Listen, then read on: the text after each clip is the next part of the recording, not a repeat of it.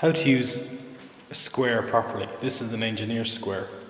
Uh, an engineer's square or square allows us to see if our material is square at 90 degrees. Checking if it's not 90 degrees, which is very important. We're always trying to work at straight lines when we're processing materials. And it allows us to mark out lines perpendicular straight edges.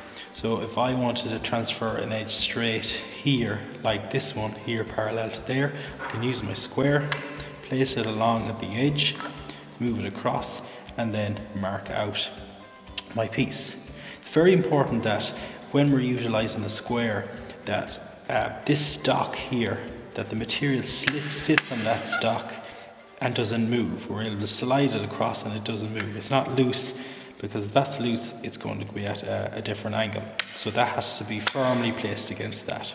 Sometimes it's useful if you wanted to bring it over a bench to um, get the material over the bench to run your scribe along it.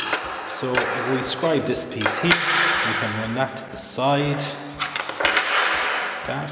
I can for my scribe placing my hand at the back of the stock, pushing it against this material, holding the material with my other fingers there, holding the scribe like a pencil, and running my scribe across two or three times to get an efficient line marked. Also, you can use the other point of the scribe if you like. I can run this along like this, I can scribe it like that.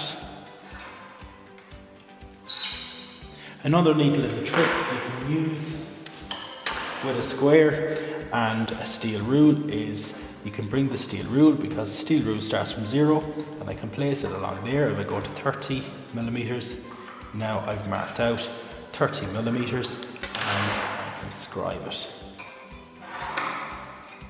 Two and three.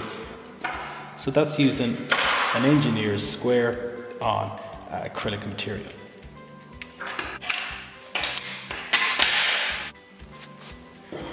When we're dealing with wood, we tend to use our try-square. Very similar makeup than an engineer's square. We have a stock and we have a blade, and that is at true 90 degrees. So we can check our material that it's square or 90 degrees perpendicular, and we can use it for marking out. So in this case, I'll be using a pencil, and I can make sure that the material is up against the stock, and I'm sliding along it push my thumb at the back of the stock, my fingers out here, I can slide along and I can mark my lines like so. And these lines will be at 90 degrees to this surface here.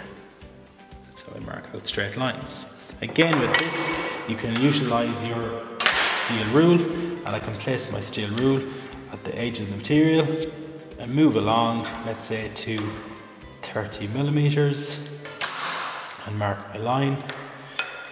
my line will be exactly 30 millimeters from the end. And that's our try-square.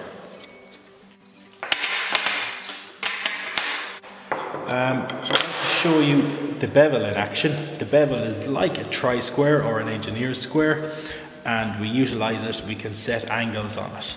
So I can set um, a certain angle like that and again placing the material on the edge of your stock and sliding it along and I can transfer um, different shaped angles. I can set this with a protractor if I liked.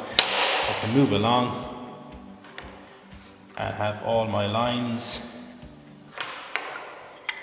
parallel with each other. That's using the bevel.